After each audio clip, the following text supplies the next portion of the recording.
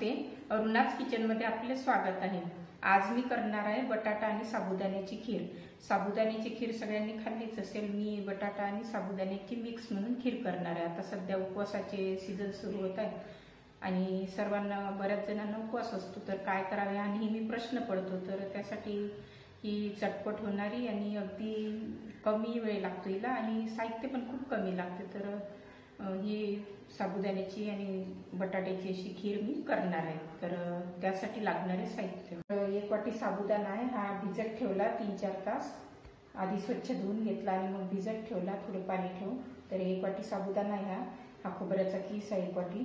ते वेलचीचे दाणे आहे. मी जाडसर असे कुटून घेतले. आणि ड्रायफ्रुट्स आहे. काजू बदाम.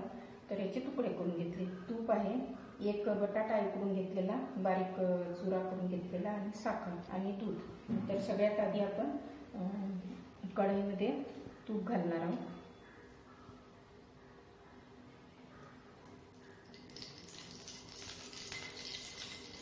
आणि यात आपण हा बटाटा परतून घेणार आहोत. आणि इकडे मी पाणी दोन ग्लास पाणी उकळायला ठेवलेले आहे तरी पाणी आता जवळपास उकळलेले आहे. तर यामध्ये आपण साबुदाणा शिजायला ठेवणार आहे.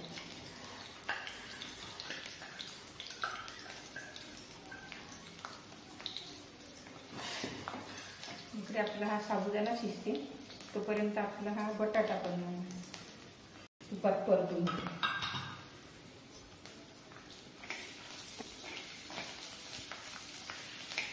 तूप जरा जास्तच घेतली मी.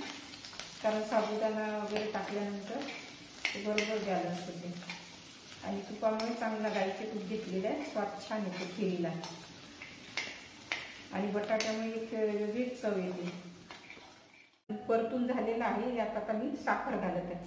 साखर आपापल्या आवडीनुसार. ज्यांना जितकी गोड आवडते त्या प्रमाणात. तशी खीर गोडच चांगली वाटते.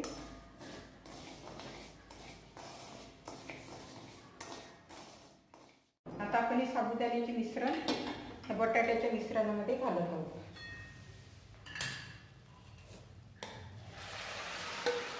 ही खीर पातळ छान वाटते म्हणून मी पाणी जरा जास्त घेतले. ज्यांना घट्ट आवडते त्यांनी पाणी एकच ग्लास घ्यायचे.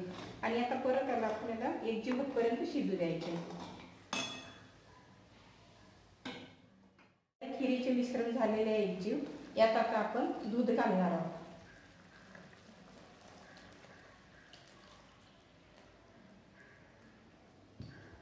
आता पुन्हा आहे ना दोन मिनिट छान उकळी येऊ द्यायचे.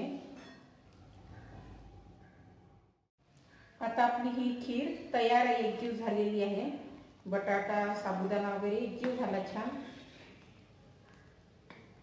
आता आपली ही खीर तयार आहे बटाटा साबुदाणा एकजीव झालेला आहे. आता आपण आता खोबरा किस थोडा वरून डेकोरेशनसाठी ठेवू. वेलची पावडर. पावडरने मी असं थोडं जाडसरच हे केलेलं आहे. दाताखाली ती छान वाटते खाली तर. आता आपली खीर खाण्यासाठी तयार आहे.